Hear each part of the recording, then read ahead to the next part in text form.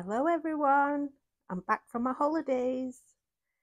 Uh, I came back yesterday. Uh, I think we got back about noon time. Uh, so uh, I, I, need, needed to rest, uh, so I didn't do much yesterday. I just sat and did a bit of stitching. Uh, decided to unpack the suitcases today and get through a bit of the washing. Still got a mountain of them of it to get through. Uh, but yesterday um, I decided to continue with my spring kit and the uh, summer one. And let me show you what I did yesterday. So um, it was a case of I finished this beach hut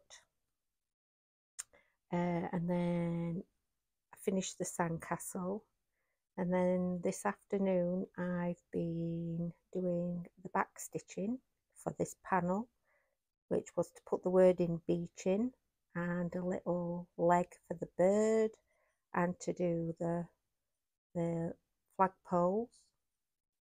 Uh, so that panel is now finished. Uh, and then I moved on to doing the sunglasses and the wording let summer set you free. And in my case, let summer set you free in Florida.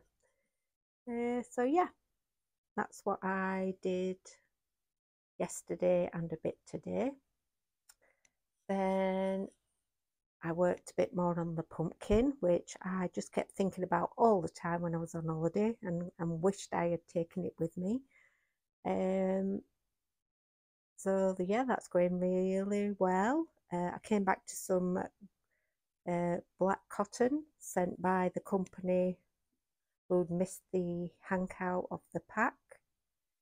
So I'll be able to uh, get a bit more done on this. Uh, and I'll, I really like this one. I love that bright orange.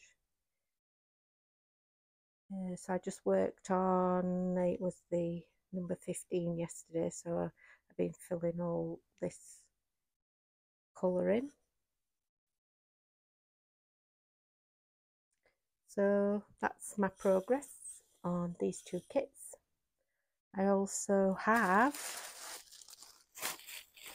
an unbagging to do and this is from VIP Cross Stitch.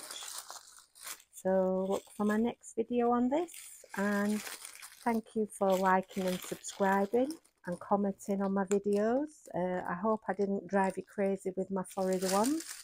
There were so many more I could have done, but I thought, no, you're here for my stitching and you're not here to hear about me keep harping on about Florida.